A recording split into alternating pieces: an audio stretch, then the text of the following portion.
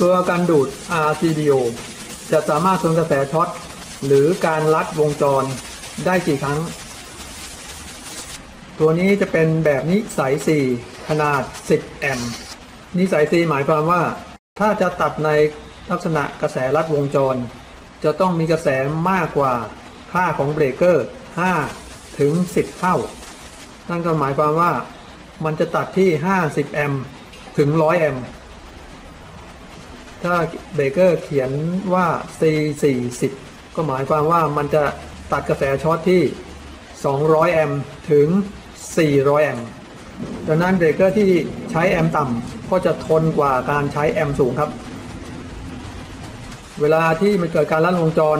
แล้วหน้าสัมผัสจากออก จะเกิดการอาร์คที่รุนแรง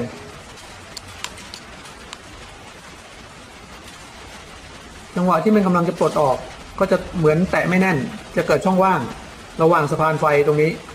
และจะทำให้เกิดการอาร์คที่รุนแรงทำให้หน้าสัมผัสตรงนี้ หลอมละลายหรือเกิดความเสียหายขึ้นได้ ดังนั้นจึงมีการป้องกันการอาร์คที่รุนแรง ตรงนี้ก็จะเรียกว่า arc chamber หรือห้องอาร์คส่วนตรงสีแดงและที่มีแผ่นเหล็กตั้งอยู่ชิดกันหลาย ๆ อันนี้ จะเรียกว่า arc divider หรือตัวดับอาร์ค หมายความว่าการอาร์คที่รุนแรงที่หน้าสัมผัสสะพานไฟจะถูกดึงมาอาร์คที่โลหะที่เรียงชิดกันสองแถวนี้แทนการอาร์คที่ตรงนี้จะเป็นการอาร์คที่ไม่รุนแรง เนื่องจากมันมีหลายช่องตามแผ่นโลหะ แบ่งการอาร์คนั่นเองทำให้หน้าสัมผัสลดความเสียหายไปได้ หรือยืดอายุการใช้งานไปได้เยอะ สังเกตสะพานไฟตัวนี้ผมได้ทำการทดสอบลัดวงจร ในตอนที่แล้วแล้วมานั้น นับรวมกันได้10ครั้ง สังเกตหัวปูดขึ้นมาเลย แต่ไม่ใช่ปูดหรือหลอมละลายที่หน้าสัมผัส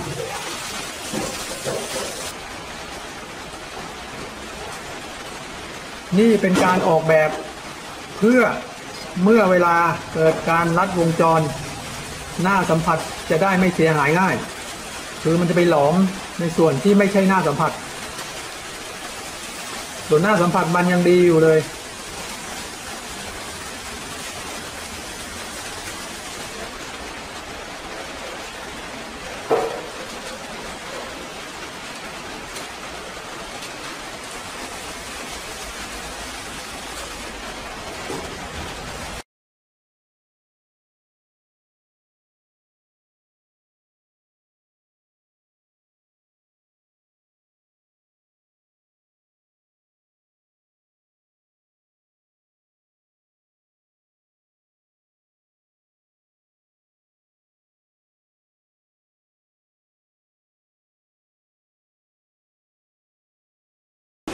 สังเกตหน้าสัมผัสด้านบนก็ยังราบเรียบดีอยู่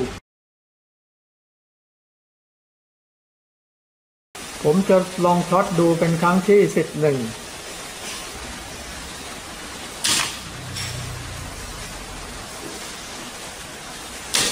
สิบสอง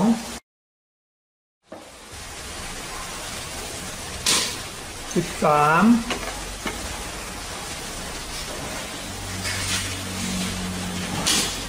สิบสี่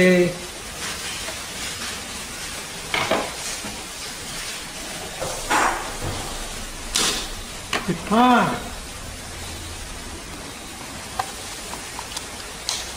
เบเกอร์ที่ตู้คอน sumer ตัดไปด้วย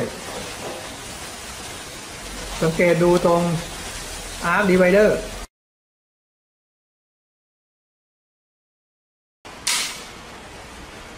สิบหก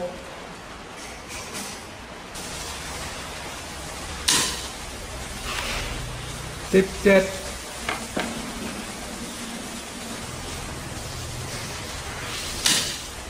สิบแปด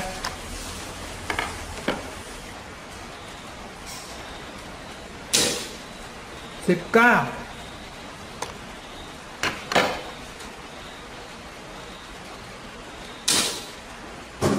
ยี่สิบ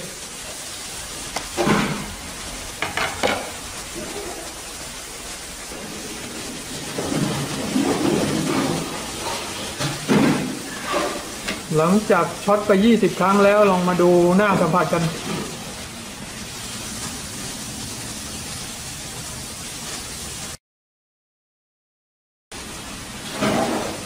หน้าสัมผัสด้านบนยังดีอยู่เลย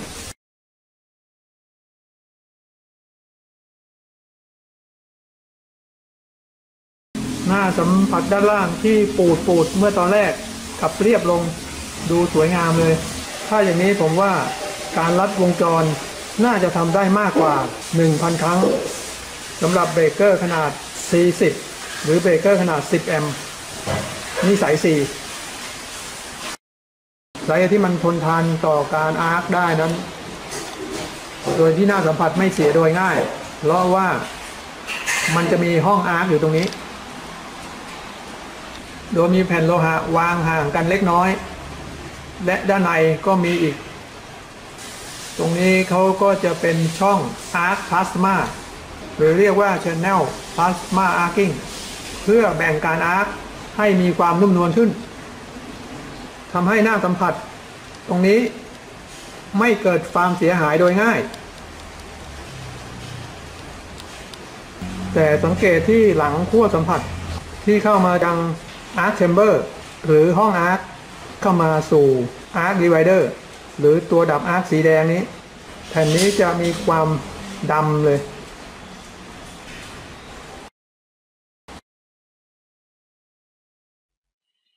นี่ก็คือ Circuit Breaker จะเอามาเปรียบเทียบให้ดู หมายเลข4ก็คือ Arc Chamber หรือห้อง Arc หมายเลข5ก็คือ Arc Divider หรือตัวแบ่งการ Arc เพื่อลดความรุนแรงของการ Arc ส่วนคลิปใหม่ผมจะวางไว้ท้ายวิดีโอนี้ พบกันใหม่คลิปหน้า สวัสดีครับ